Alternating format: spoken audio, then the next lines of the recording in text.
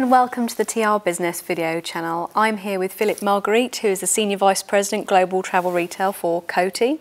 Uh, we're in Paris today and in close proximity to the Grand Musée du Parfum, which is particularly apt, seeing as Coty is now the number one fragrance company in the world, if I'm if I'm right there. So That's I think it's particularly apt following the purchase of the 41 brands from Procter and Gamble. Uh, now, my first question for you today actually refers to that point. Um, obviously, this was a, major, major move for you guys, and, and, and obviously game changing for the industry as well. Um, can you tell us how the duty free and travel retail oper- operators have reacted to this? Uh, thank you, Charlotte. I'm very happy to be there first. But uh, yes, it was, uh, I would say, a first uh, moment of surprise from the, the key retailers and partners. But uh, I think that immediately they understood the benefits that this would bring to the travel retail industry. And uh, the first one is that uh, Coty is the pure player in beauty, and therefore our growth is uh, only generated by our ability to grow the market. Therefore, they are very interested to have one focused company uh, to this beauty market, which is so important for, for them.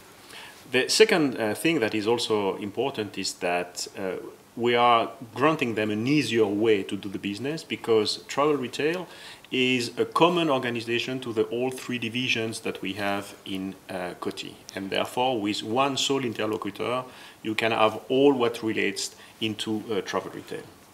And the second thing that is also uh, very strong uh, in this merger is the fact that we are leveraging and combining two different mindsets. Uh, Procter & Gamble was very well known in industry for his consumer insight knowledge and also for some advanced in-store execution, while Coty was much more known for his agility and creativity.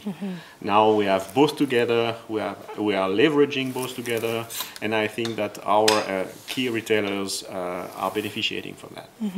And of all these these brands, can you tell us which ones you're going to prioritise, uh, particularly in the in the duty free and travel retail market? So of course, OPI is today the most important brand that we have in travel retail.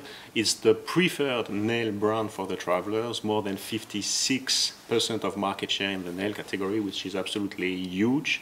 It's a fantastic jewel, and we are continue, of course, to develop this brand across the globe. In color expertise, but also in nail care.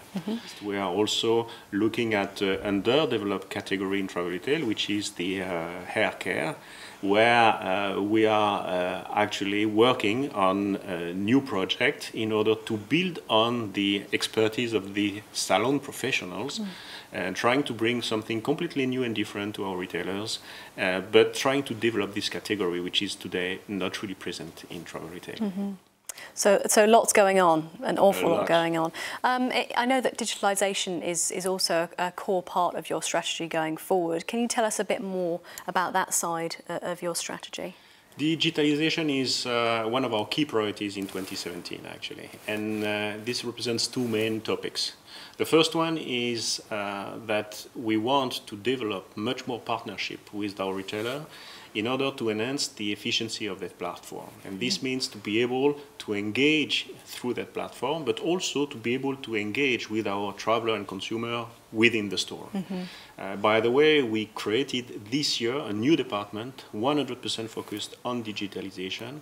We're starting to partner already with some key retailers around the globe. So this is one of our key objective. But uh, digitalization means also for us an improvement in our own tool within mm-hmm. Coty. We want to have better tools to be able to deliver better service to the consumer and to our key partners, and therefore we are looking at how to modernize our tools in terms of marketing investment, in-store execution, or even in terms of bringing to our sales force in the field, our beauty advisor, better service. Mm-hmm. So Okay. that's digitalization for us, mm-hmm. inside and outside. Sure, and uh, obviously that is a, is a key priority for you guys. Can you mention some of the other priorities you have for the business in 2017, particularly in duty free and travel retail? So apart from the uh, digitalization, which is one of the key, one we have a major uh, priority in travel retail. Uh, as you may know, uh, the conversion rate, so it means the number of travelers that are buying in the travel retail industry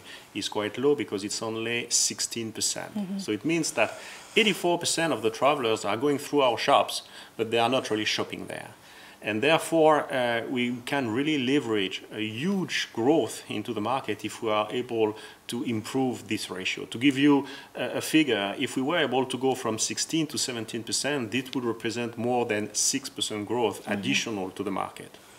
We are starting to work with our key retailers in order to build up uh, this ratio and to be able to convert more people into the buy in the shop. Mm -hmm. How are we doing that? We are doing that in trying to disrupt the in-store execution, to break what we call the autopilot, in order to stop the people and to make this shopping moment a very unique and memorable moment. Mm -hmm. And therefore, our objective will be to try to convert more people into the buy into the shop with the help of the retailer. So this is the number two priority that uh, we have. Mm -hmm. The third one is clearly uh, our people. Mm -hmm. um, we have more than 800 uh, beauty advisors worldwide, uh, covering more than 55 different nationalities. And you can imagine it's not easy to mm. have all of them, uh, you know, uh, always uh, engaging with our consumer on a daily basis. That's why one of our objectives is to, is to have in all key airports um, platinum acknowledged mm -hmm. people beauty advisors. Uh, Platinum is our program that we developed to train them, mm -hmm. to mm-hmm. train them in two different aspects. The first one is the knowledge of the brands, the mm -hmm. DNA of the brands, but also the product, of course. And the second part is also the selling techniques. Mm -hmm. And when you reach this platinum level, mm -hmm. then you are probably one of the best uh, professional uh, in the industry uh, through the Coty Travel Retail Academy program.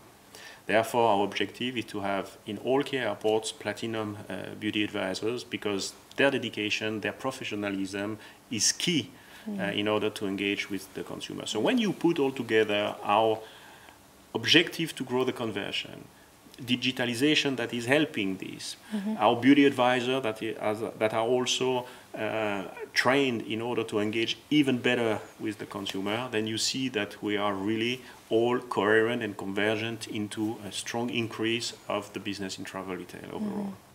There are some very exciting projects in the pipeline that I know that you can't go into detail about just now, but it, uh, from what I know already, it does sound like it's going to be a very interesting year in duty-free and travel retail.